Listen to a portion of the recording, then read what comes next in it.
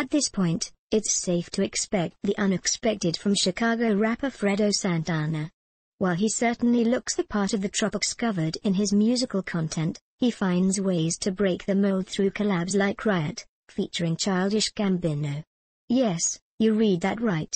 But it's not like Santana hasn't done this before with cuts like the Kendrick Lamar-assisted Jealous.